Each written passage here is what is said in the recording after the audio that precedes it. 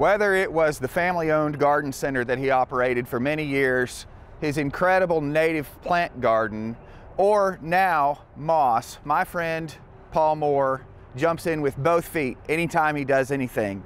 And uh, what he's done with this beautiful moss lawn in his shade garden is no exception.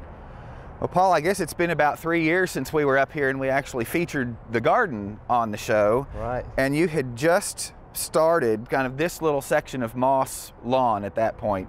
Tell us all about your experience with moss and, and what sort of prompted you to do this moss lawn. Well, being on top of a hill like I am, the soil's very thin, and Right. every year I'd plant grass seed, and by mid, middle of summer it was dead or dying. So I just got tired. I've tried every grass seed there was, you know, every miracle blend that was supposed to work through in Nashville that never the did. shade, the heat, the humidity, right. and all that. And uh, so I just let this one section of area, uh, there was one little patch of moss in it. So I said, I'm not going to do anything, just let that patch of moss grow and just see what it does. I kept the debris off of the leaves and just kept it clean. Right. And within one year, it had basically filled this area. Now, it wasn't full yet, but I knew it was it was, working it was coming along. it was coming along and uh, with little encouragement. So uh, then I made the, for after about two or three years, this really got nice and full. So I made the big decision to take on this larger section of lawn, Right. of lawn that was grass and turn it over into moss. And so that is what we're kind of walking into now. And just in two or three years' time, because you were still sort of struggling this with this area when we were here the last time. So just in two or three years' time, it has completely turned into a moss lawn. A moss lawn. A moss it's, lawn. Uh, it's worked really well, and you know the thing about it, it's it just looks good all year round. Right. You know, even a, a slight bit of rain, and it'll just pick up this iridescent up, green, and uh, it's just fun to watch in different environmental conditions. Right. The majority of this is moss that just was naturally here. Right. Now I have over in this area an experiment going with uh, adding some different moss. You can see the patchwork. Yep. That's a hypnum moss, hypnum curvifolium moss in the little squares. And that little brighter green over to the right is fern moss, Thuidium delicatulum. So I'm kind of adding some others to get a little variety there. You actually have purchased this moss just like you would purchase plants at a nursery. Exactly. Um, and it comes in these little squares like that, or does it come in sheets, or how It comes you? in sheets, and I just kind of cut them in more of these uniform squares. Right. And uh, just to try to see how sort quickly it would spread. patch it in. This soil is just, it's real thin again. It's this Fort Payne talcum powder looking soil. Right. And it gets bone dry in the summer. And I've exposed this, this moss to everything. I mean, to heat, to drought. Yeah. You know, if it gets dry, it just goes dormant. The first little bit of water, it'll green right back up. Right. And it just, you know, it's just been a lot of enjoyment with not a lot of, a lot of effort. Well, uh, you mentioned a couple of varieties of moss that you have here, but I know that around the front of the house you also have another little experiment going on that I would love to go and take a look at. Sounds great. Well, the topic of the day is moss, but I can't walk past this patch of golden seal that you have here. How old would you say that that probably is? That clump's probably about four or five years old. I mean, I think it's a great substitute for hosta in the native plant garden. Right. And I'm really into like herbal and medicinal plants. Uh-huh. So it just it makes a great plant. The, the white flowers will turn into a green berry and then a bright red berry in the fall. In the fall. And I can see that it's either spreading or reseeding itself around, probably a little bit of both. So it does make, a- after a few years, a really nice colony. Right, it'll make a nice little ground cover. Well, another really nice specimen, and you have several of these in the garden, is this leatherwood. This is a really cool little plant.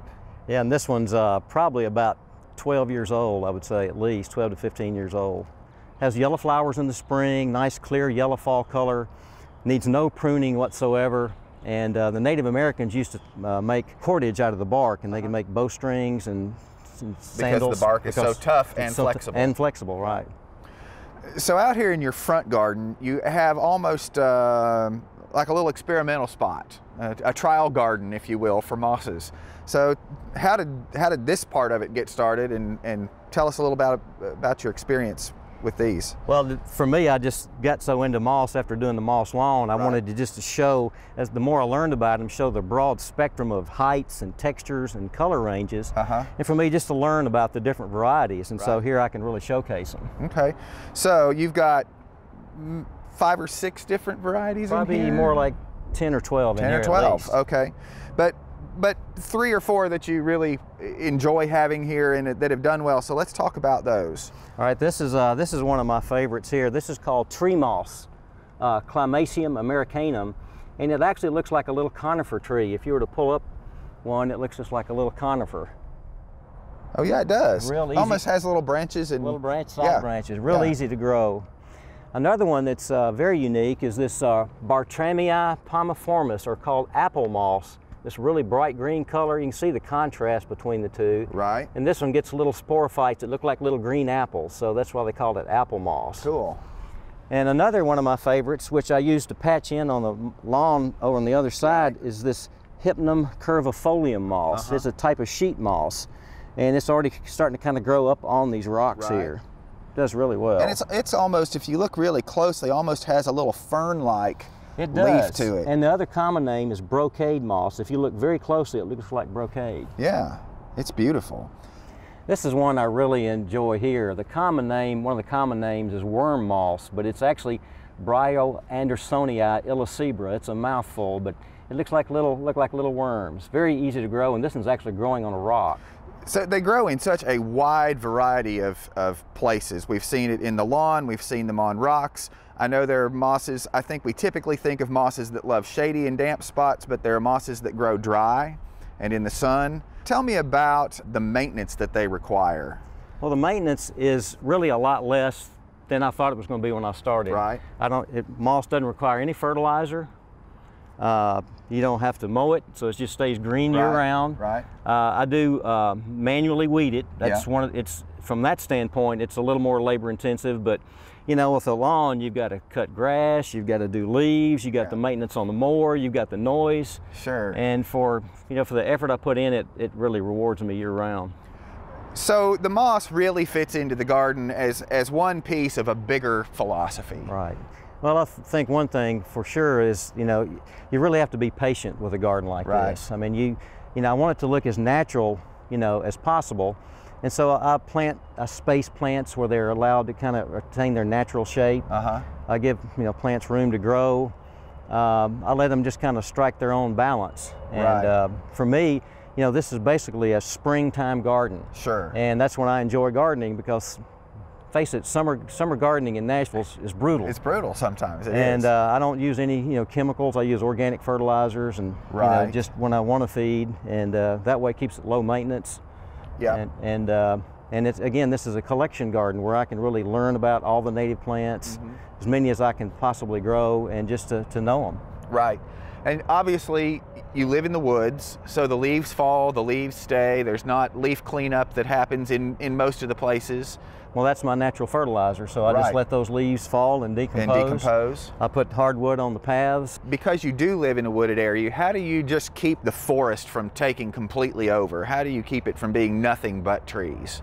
Well, I monitor it. You know, that's Uh-huh. one of the great joys is just I walk the garden numerous times a day. Right. And if you work at it a little every day, it's not a big deal. Now, Exactly. If you wait three months, then you've got you've got a problem. a problem on your hands. That's right. well, and I do the same thing in my own garden, which you know is a very sort of intensely gardened little spot. But you know, when I'm out in the morning, if I see something, I do it then, Right. And not, you know, try not to do it six weeks down the road when the problem that was six weeks ago is now tenfold. That's right. That's So, right. Let's nip it nip it in the bud. Nip it in the bud. Well, with all that you have learned about moss, I know that there have to be some good resources out there, but but probably not very many of them. So you've you have three favorites here, And my, my ultimate favorite is uh, The Magical World of Moss Gardening by Annie Martin. right? And uh, it's a real how-to for people just how to garden with moss. And Right. there's just not many resources like that. And uh, it's, it's just an excellent resource. I highly recommend this one. Okay. And then the other two maybe are a little more scientific in nature, Well, or this one, this one's actually written by Robin Wall Kimmerer. Uh, what I love about it is she's uh, she's a Native American and she's also a biologist. Okay. So she weaves those two disciplines in just a beautifully written uh, Right. book. and then an ID source. And just a great ID source. This is a relatively new one, The Common Mosses of the Northeast and Appalachians. Great right. book. um, now, what about sources for moss? Do, do you collect or do you not collect? Well, you don't Um, want to collect from the wild. I mean, I'll move like for my own moss. I've moved some from my property in you know Sure. a couple of spots.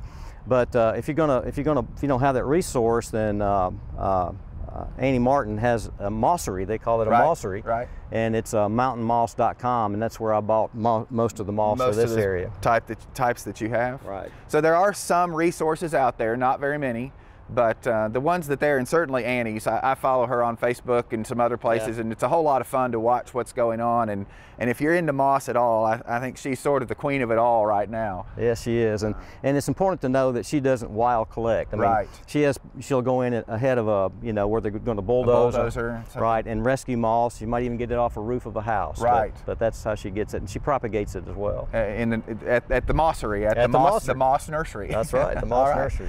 Thank you so much for taking some time to be with us today. And Well, uh, Troy, thank you so much, and I have to gift you with an official Moss Man Defender of the Environment T-shirt. Awesome. I love it.